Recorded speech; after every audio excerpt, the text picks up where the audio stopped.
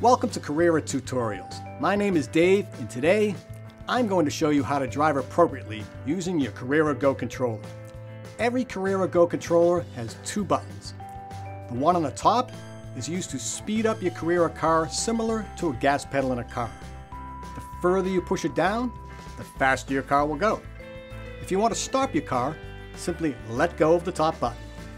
Just like a real race car driver, you cannot drive the same speed throughout the track. It's important when you're heading into a bend to slow your car down by slowly releasing the button until you feel you are in control. If you do not ease up on the top button round a bend, your car will spin off the track.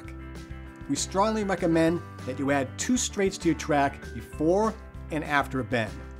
This is important so you can brake before the bend and accelerate after the bend. The second button on your Go controller is the boost button.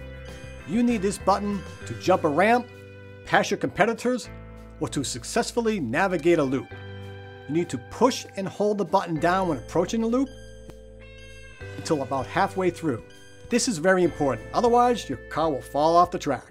Follow these tips and you'll be capturing the checkered flag in no time. Be sure to purchase all genuine Carrera parts and accessories from your favorite Carrera retailer.